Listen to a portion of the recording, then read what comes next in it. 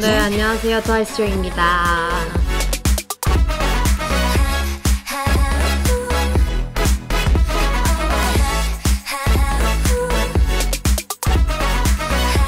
뭔가 LP라면 뭔가 I Can't Stop Me 앨범 보면은 뭔가 곡들이 그래도 좋을 것 같아요.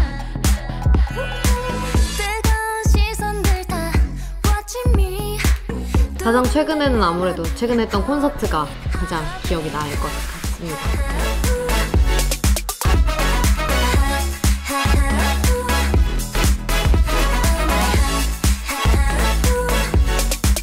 먼저 오랜만에 대면 팬미팅을 할 수 있게 돼서 너무너무 기대가 되고 너무너무 진짜 보고 싶고 또 이번에는 어떤 팬미팅이 될지 많이 기대가 됩니다.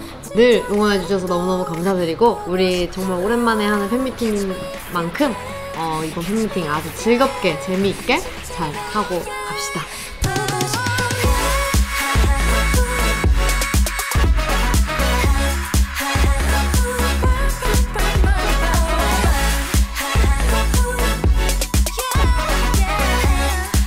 저희 트와이스 앞으로 또 열심히 활동 계속해서 이어나갈 텐데 어, 원스분들이 많이 응원해 주셨으면 좋겠고 저희 멤버들 각자 각자 한 명 한 명 또 많이 사랑해 주셨으면 좋겠습니다.